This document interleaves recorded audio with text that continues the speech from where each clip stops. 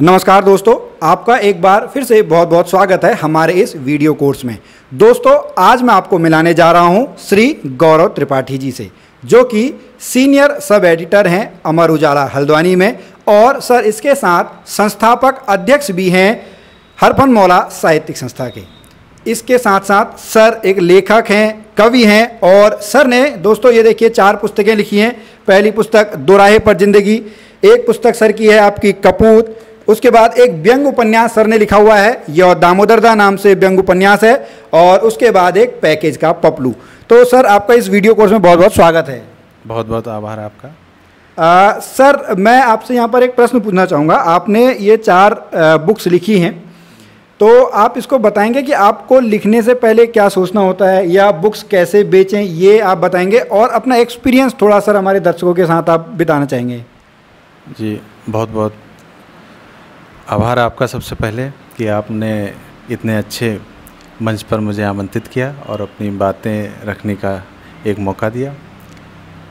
जब हम किताब लिखने की बात करते हैं तो आ, मेरा मानना है कि किताबों का संसार काफ़ी ज़्यादा बड़ा है। एजुकेशनल किताबें भी लिखी जाती हैं मनोरंजक किताबें भी लिखी जाती हैं साहित्यिक किताबें भी लिखी जाती हैं कोर्स से रिलेटेड किताबें भी लिखी जाती हैं। जब हम साहित्य की बात करते हैं तो साहित्य में मुझे लगता है कि पहले से ज़्यादा किताबें लिखना और अपनी बातें जनता तक पहुंचाना अब सरल हो गया है। पहले ये होता था कि हम प्रकाशकों के आगे पीछे घूमते थे और प्रकाशक भी एक एक साल तक अटकाए रहते थे कि आपकी किताब अभी नहीं है, ये करो, वो करो। तो उसमें ये होता था कि जो मूल लेखक की चीज़ें होती थी, जो मेन उसका मन होता था, ये हम लिखें और जनता तक पहुँचाएँ, वो कई बार नहीं पहुँच पाती थी। प्रकाशक की ही मर्ज़ी चलती थी उसी की दादागिरी चलती थी। लेकिन आज के समय में मैंने ये देखा है कि लेखक डायरेक्ट भी चाहे तो आ, किताब लिख सकता है और उससे डायरेक्ट अर्निंग भी कर सकता था। पहले ये होता था प्रकाशक कई कई सालों तक रॉयल्टी ही नहीं देते थे हम्म, हम्म। या देते थे तो काफ़ी कम देते थे। लेकिन अब ये हुआ है कि रॉयल्टी आदमी जो है अपने खुद से भी लेखक कर सकता है।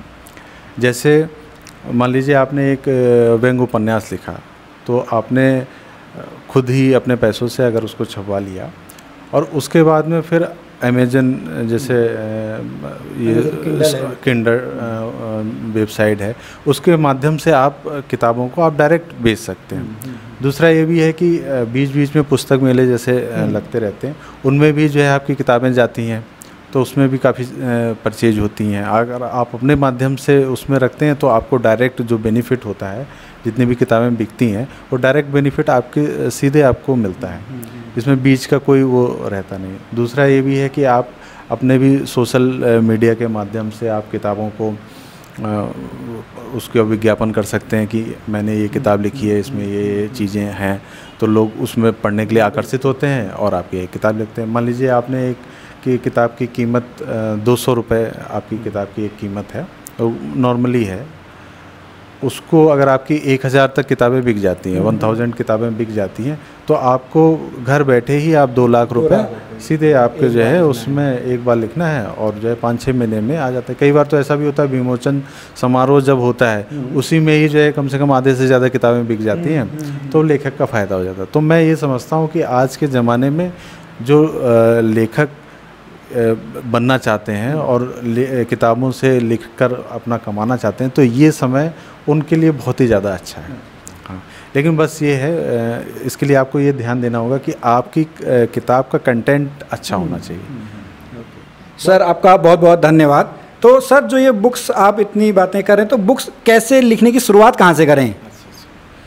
बहुत अच्छा क्वेश्चन आपने पूछा। कई बार लोग ये कहते हैं कि लोग किताबें पढ़ते नहीं हैं। हम्म। तो मेरा ये मानना है कि ये लोग वही लोग कहते हैं जो कई बार ऐसा सोचते हैं कि जो हमने लिखा वही सब कुछ है और उसी को ही सब पढ़ना चाहिए। जो किताबें लिखते हैं सबसे पहले तो मैं उनको ये टिप्स देना चाहूँगा कि सबसे पहले उनको ये देखना चाहिए कि हम किस पर लिखें कि जनता ज़्यादा से ज़्यादा उसको पसंद करे है ना? तो अभी जैसे हमने देखा कि कई लोग ऐसा करते हैं कि जो क्षणभंगुर चीज़ें हुई हम्म, जो हम्म। मतलब आज घटना हुई। हम्म, उस पर उन्होंने सोचा राहुल गांधी ने कोई बयान दिया या प्रियंका गांधी ने कोई बयान दिया या मोदी ने कुछ ए, कहा। तो उस पर तुरंत ही जो है कुछ प्रतिक्रिया लिखी और वो सोचते हैं कि इस पर हम लंबा चौड़ा लिख दें और वो जो है लोग पसंद कर लें। लेकिन ये चीज़ें ऐसी हैं कि क्षण भंगुर चीज़ें हैं। बिल्कुल। है ना? अधिकतर हमने देखा साहित्य की जब हम बात करते हैं तो लंबी कहानियाँ या उपन्यास हम कह लें या खासतौर से हास्य व्यंग उपन्यास ये ज़्यादा से ज़्यादा पढ़े जाते हैं। मतलब एक पाठक के हम मन की स्थिति अगर वहाँ पे तो एक पाठक चाहता है कि जैसे हम मान लीजिए ट्रेन में सफ़र कर रहे हैं तो वो ट्रेन में सफ़र करने के लिए अगर वो कहानी अगर एक सबसे पहले उसकी प्राथमिकता रहेगी कि हम कोई कहानी पढ़ें। तो वो अगर कहानी आप उसको लिखते हैं और हास्य व्यंग में लिखते हैं मैं अधिकतर हास्य व्यंग में कवि भी हूँ और लेखक भी हूँ तो मैं ये समझ जब मैंने पहली किताब लिखी पैकेज का पपलू व्यंग संग्रह था तो मैंने क्या करता था ये छोटे छोटे जो घटनाएँ हुई उन्हीं पे एक छोटा सा कमेंट बना के उसको लिख दिया। तो वो एक दो महीने के लिए तो ठीक रहता था लेकिन लंबे समय के लिए क्योंकि किताब जो है लंबे समय के लिए होती है लंबे समय के लिए वो चीज़ें नहीं चल पाती थी। तो मेरे साथ ये प्लस पॉइंट रहा कि मुझे जो है गुरुजनों ने काफ़ी दिशाएँ मुझे दी किस तरीके से लिखना चाहिए। मैंने साहित्य अकादमी हिंदी अकादमी इनमें कई सारी कार्यशालाओं को भी अटेंड किया। तो उससे मुझे पहले पता चला कि अगर हम व्यंग मैं व्यंग के क्षेत्र में जाता हूँ अगर इसमें भी उपन्यास लिखूँ हास्य व्यंग उपन्यास लिखूँ तो मैं लंबा चल सकता हूँ। तो उसका ये बेनिफिट हुआ मुझे कि उसके बाद मैंने दोराहे पर ज़िंदगी उपन्यास लिखा। उस व्यंग उपन्यास की जो है अब मेरे ख्याल से एक ही दो प्रतियाँ मेरे पास अच्छा। बची हैं बाकी सारी प्रतियाँ उसकी बिक गई। और उसमें जो है राज्य सरकार की तरफ़ से मुझे पच्चीस हज़ार रुपये का पुरस्कार भी मिला। तो ये गुरुजनों का मुझे आशीर्वाद मिला। अगर वो नहीं मुझे बताते तो मैं इसी तरीके से व्यंग संग्रह लिखता रहता और कुछ लोग पढ़ते कुछ लोग नहीं पढ़ते। उसके बाद फिर मुझे लगा कि व्यंग उपन्यास में अच्छा कर सकता हूँ। फिर मैंने एक कपूत जो पूरा ही मतलब हाथ से उपन्यास है हम्म, हम्म, हम्म। उसको मैंने लिखा। तो हाथ से जो कपूत उपन्यास रहा वो कुछ पहाड़ी क्षेत्र को लिए मैंने लिखा। तो उसको लोगों ने इतना पसंद किया कि जो यहाँ MBPG कॉलेज जो है कुमाऊँ यूनिवर्सिटी से संबंध, उसकी दो छात्राओं ने इस पर शोध भी किया। और एक राजकीय प्राथमिक विद्यालय हल्दू पोखरा है, उसमें बच्चों ने इस पर एक छोटा जो पार्ट था, उसका नाटक भी उस पर तैयार किया। उसके बाद में फिर वो किताब की ज़ाहिर सी बात है रीडरशिप बढ़ गई थी तो उसके बाद लोगों ने किताब को लिया तो इस किताब से भी काफ़ी मुझे फ़ायदा मिला। और इसी के बाद अभी मैंने इसी, हाल ही में जो है, दामोदर दा बुक लिखा है तो उसकी भी जो है काफ़ी उसका जो है अच्छा रिस्पांस आ रहा है बहुत बढ़िया रिस्पांस आ रहा है तो मैं यही जो नए लेखक हैं जो लिखना चाहते हैं तो पहले तो वो अपने आप को पहचाने।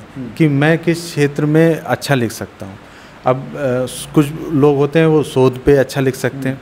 तो अधिकतर ऐसा भी होता है कि जैसे कुछ बड़े प्रकाशक हैं वो टॉपिक भी देते हैं। जैसे मान लीजिए उन्होंने कोई टॉपिक दिया।